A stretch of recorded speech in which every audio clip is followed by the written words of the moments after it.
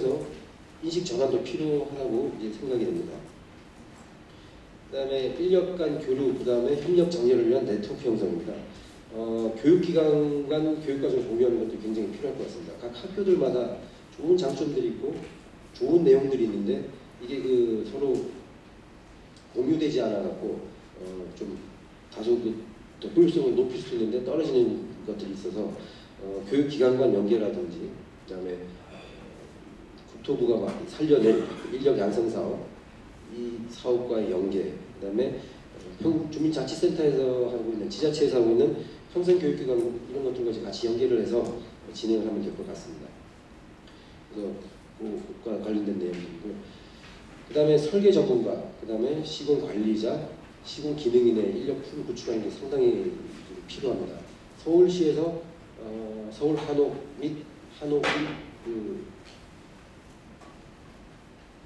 한옥을 이제 그 지정하는 것들을 좀 하고 있습니다. 서울 우수 한옥을 뭐 선정을 하고 이런 일들을 하고 있는데 어, 그런 우수 한옥들을 세채 이상 지은 사람들의 명단을 먼저 좀 확보를 하고 있습니다.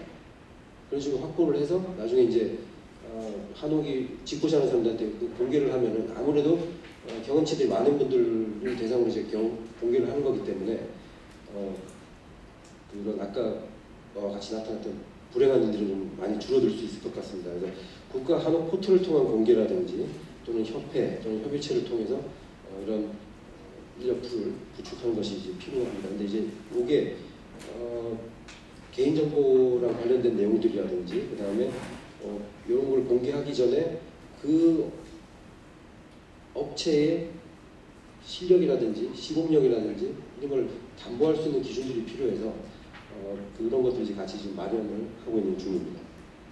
그 다음에 어, 관련 기관과의 협력 사업도 굉장히 필요할 것 같습니다. 어, 교육기관과 지자체라든지 아니면 어, 교육기관과 지역기관 또는 단체 어, 그래서 실제 보시면은 지자체랑 한옥학교가 같이 하는 그 공공건축물을 할 때 지역에 있는 한옥학교를 우선적으로 참여시키는 방안들도 있을 수, 있고요. 그 다음에 한옥학교랑 지역 기관 및 단체 그러니까 그 실제로 군부대 내에 정자 지어주는 일을 하는 그런 사례도 있습니다.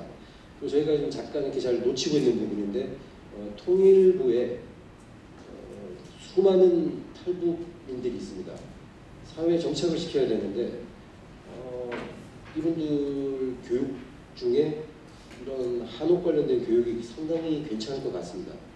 이건 왜냐하면 기술로 저희가 이제 승부를 보는 거잖아요. 그래서 어, 이런 뭐 예를 좀 들어드리는 건데 통일부와 관련된 그러니까 탈북민 교육과 관련된 것들도 충분히 가능하다고 생각을 하고 있습니다.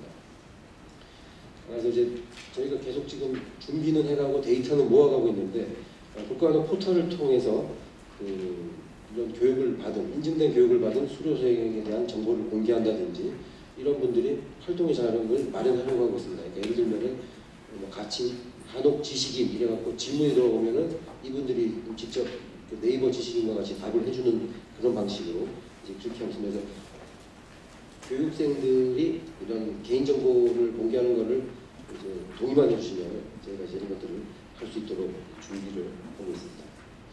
어, 제가 준비한 발표는 여기까지고요. 제가 발표보다는 아마 오늘 토론 시간이 좀 굉장히 중요할 것 같습니다. 이 부분이 좀 민감한 부분이 있어서 발표해 주시는 분을 모시기가 굉장히 힘들었습니다. 다 모사를 하셔가지고요. 그래서 저는 굉장히 어려운 분들 모시고 지금 발표를 하고 토론자분들도 마찬가지입니다. 이게 어, 한달 동안 저희가 섭외를 했는데 굉장히 힘들었거든요.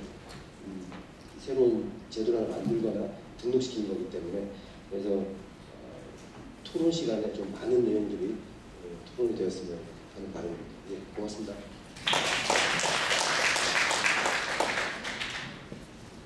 감사합니다. 신치국간 한옥센터장님의 발제를 통해서 한옥 전문인력 양성의 필요성과 방향에 대해서 살펴보고 어, 이를 위한 구체적 실천 방안까지도 고민해 볼 수 있었습니다. 어, 감사합니다. 이제 세 분의 발제가 모두 끝났습니다.